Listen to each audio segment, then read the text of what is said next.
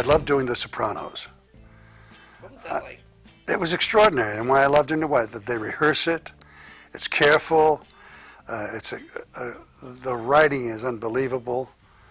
It's uh, it's it's it's run by a great dictator, and uh, you know, it becomes a, it's a challenge. A cha- it's like a gauntlet thrown down. And, and thou shalt not tell the contents of the. It's on. It's in bold-face type on each script. You don't discuss anything with anybody on the on the outside. Mr. Chase, the director, says he's really Italian, but he has the last name of Chase. And uh, they're just, to a man, a wonderful group of actors. And they take a lot of time. There's good rehearsal time, all of it, and you know.